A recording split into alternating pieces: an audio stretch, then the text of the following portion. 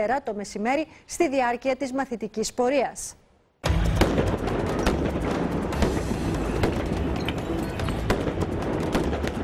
την ώρα που το κέντρο της Θεσσαλονίκης είχε μετατραπεί σε πεδίο μάχης μεταξύ κουκουλοφόρων και ΜΑΤ, γονείς έτρεχαν να μαζέψουν όπως όπως τα παιδιά τους από τον παιδικό σταθμό που βρίσκεται στη γωνία της Πανεπιστημίου Πόλη.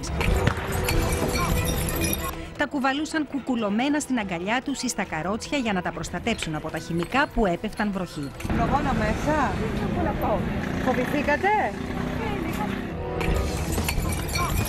Μόλις η πορεία είχε φτάσει στο Υφυπουργείο Μακεδονίας Θράκης, νεαροί κουκουλοφόροι με καλυμμένα τα πρόσωπά τους άρχισαν να πετούν μολότοφ στους αστυνομικούς.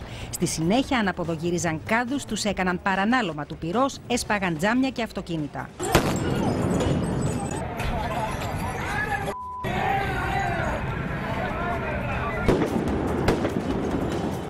Μια ομάδα ταμπουρώθηκε στη θεολογική σχολή που τελεί υποκατάληψη από χθες, μετατρέποντάς την σε ορμητήριο ρήψης Μολότοφς στι δημιουργίε των ΜΑΤ. Έχουμε επιθέσεις από πλάγια ιστορικά. Μας έχουν ρίξει βροχές από Μολότοφ. Δεν μπορούμε να προσεγγίσουμε Αρμενοπούλου. Γυρνάμε πίσω.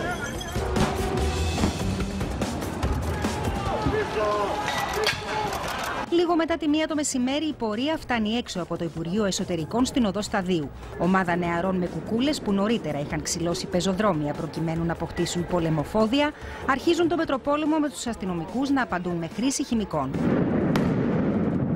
Αυτή τη φορά οι νεαροί, οι περισσότεροι από τους οποίους είναι ανήλικοι, είχαν εξοπλιστεί με φωτοβολίδες, σφυριά, ακόμη και μάσκες του Άγγλου συνωμότη Guy Fawkes. Κάποιοι είχαν εφοδιαστεί ακόμη και με πυροσβεστήρες. Η ατμόσφαιρα στην πλατεία κλαφτμόνο αποπνικτική. Άνδρες των ΜΑΤ κυνηγούν ένα ταραξία και τον πετούν στο πλακόστρωτο. Κάποιοι άλλοι βοηθούν ένα περαστικό να αγλιτώσει. Μια γιαγιά προσπαθεί μέσα στο χαμό να διασχίσει το δρόμο. Το ίδιο και οι τουρίστες.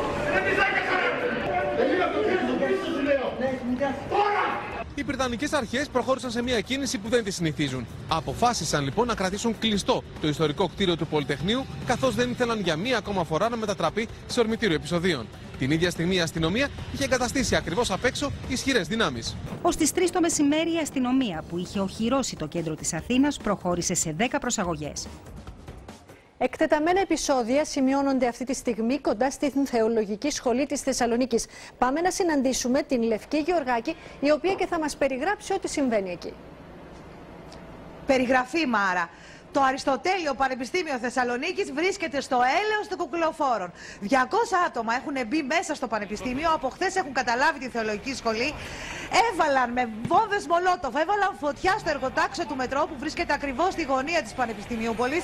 Βλέπετε μπροστά σας, αυτή τη στιγμή είναι 8-9 πυροσβεστικά οχήματα και παλεύουν να σβήσουν τη φωτιά. Ε, αυτό που έχουμε ζήσει την τελευταία ώρα είναι απίστευτο. Από το μεσημέρι, Μάρα, είχαν αρχίσει τα επεισόδια στη Θεσσαλονίκη. Είχαν μπει μέσα οι κουκλοφόροι, πετούσαν ε, μολότοφ, πετούσαν πέτρες. Μάλιστα έχουν ανακαλύψει και κάποια δικά τους συστήματα για να εκτοξεύουν, να κάνουν ρήψη μολότοφ με ακρίβεια. Αυτοσχέδιες ρήψεις λοιπόν. Ε, χρησιμοποιούσαν τους πυροσβεστήρες που έβρισκαν μέσα στα ναι. κτίρια και δημιουργούσαν προπετάσματα καπνού για να καλύπτουν τις κινήσεις τους από τους άντρε της αστυνομίας και των ΜΑΤ. Το απόγευμα μετά το τέλος της πορείας μπήκανε μέσα στο πανεπιστήμιο. Νωρίτερα κάποιοι μάλιστα έκαψαν έτσι και με πολύ ε, προκλητικό τρόπο το ομοίωμα μιας ελληνικής σημαίας θέλοντας να δείξουν ποιοι είναι και τι θέλουν να κάνουν. Και τώρα το απόγευμα, μετά το τέλος της πορείας, άρχισαν να σπάν, να καταστρέφουν, να, να, να γίνεται ένας χαμός μέσα στο πανεπιστήμιο και στο εργοτάξιο του μετρό. Έβαλαν φωτιά. Και μετά από τόσες ώρες η αστυνομία προσπαθεί να πλησιάσει. Είδαμε και μια πολύ επεισοδιακή σύλληψη ενός νεαρού, ο οποίος τραυματίστηκε από μολότοφη φωτοβολίδα δικών του.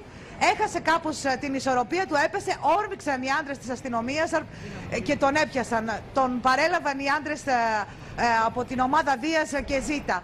Αυτή τη στιγμή, Μάρα, το Πανεπιστήμιο είναι στο έλεος των κουκλοφόρων. Μία αιστεία πολύ σοβαρή είναι στη Θεολογική Σχολή. Μία ακόμα είναι στη Φιλοσοφική Σχολή, επί της Εθνικής Αμήνης.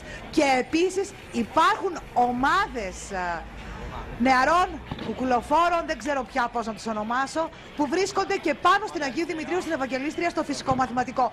Έχουν περικυκλώσει όλο το πανεπιστήμιο. Έχει καλυφθεί με πυκνούς καπνούς, έχει γίνει τεταμένη χρήση χημικών εκτεταμένη χρήση χημικών. Και αν δείτε τώρα προς την, πάνω στην Νέα Εγνατία, προς την βόρεια πύλη της εκθέσεως, συνεχίζονται οι οδομαχίες. Λευκή μια άνω τελεία στην Θεσσαλονίκη για να πάμε στην Αθήνα, να πάμε στα Εξάρχεια, εκεί όπου βρίσκεται ο Παναγιώτης Μπούσιος. Ακούμε εκρήξεις και νεοφράγματα. Παναγιώτη. Καλησπέρα Μάρα κυρίες και κύριοι. Είμαστε στην οδός Στουρνάρη. Αυτή είναι η πρώτη φορά που οι νεαροί στην οδός Στουρνάρη χρησιμοποιούν φωτοβολίδες. Βλέπετε υπάρχουν και βεγγαλικά. Στο αριστερό μέρο τη οθόνη, αυτό που καίγεται, δεν είναι κάποιο οδόφραγμα. Είναι ένα αποδογυρισμένο αυτοκίνητο. Είναι ένα μικρό αναποδογυρισμένο αυτοκίνητο το οποίο οι νεαροί έβαλαν στην οδό Στουρνάρη. Παράλληλα υπάρχει επίσης η οδό στο Σίτσα. Στην οδό στο Σίτσα Μάρα δεν έχουν στήσει οδόφραγμα. Έχουν στήσει τείχος. Μιλάμε για ένα τείχος το οποίο είναι περίπου 2 μέτρα. Πίσω από, τη, από το οδόφραγμα το οποίο βλέπετε αυτή τη στιγμή στην οδό Στουρνάρη υπάρχουν περισσότεροι από 300 νεαροί. Θα μετακινήσω τον συνάδελφο Οπερατέρ, θα τον βάλω ακριβώς πίσω από ένα δέντρο και αυτό γιατί είναι πάρα πολλές φορές οι μολότοφ που πέφτουν και κυρίως οι φωτοβολίδες οι οποίες πέφτουν. Ήταν πριν από μερικά λεπτά όταν η αστυνομία έκανε την πρώτη της κίνηση να αποθήσει τους νεαρούς, καθώς είχαν κατέβει αρκετά χαμηλά.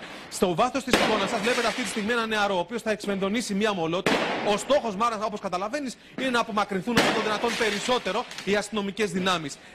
Λέιζερ, λέιζερ χρησιμοποιούν συνεχώς, ενώ πρέπει να σου πω ότι όλα αυτά τα οδοφράγματα δεν στήθηκαν εδώ και μετά την πορεία, καθώς η πορεία πριν από λίγα λεπτά τελείωσε. Από Παναγιώτη, σε διακόπτω μισό λεπτό. Αυτό το πράσινο λέιζερ που βλέπουμε, τι λόγο ύπαρξης έχει, τι προσπαθούν να κάνουν με αυτό; Αυτό, Μάρα, αυτό, Μάρα, είναι ένας τρόπος και μάλιστα πρέπει να σου πω ότι πολλές φορές έχουν καταγγελθεί ότι υπάρχει ε, τύφλωση σε αυτόν τους ανθρώπους, η οποία μπορεί να τους χτυπήσει στο, στο μάτι. Είναι ένα ιδιαίτερα επικίνδυνο λέιζερ, ακόμα και από τόσο μεγάλη απόσταση. Θα μετακινηθούμε κι άλλο πίσω, καθώς πέφτουν δεκάδες πέτρες και μάρμαρα, πρέπει να σου πω πέφτουν δεκάδες μάτρα.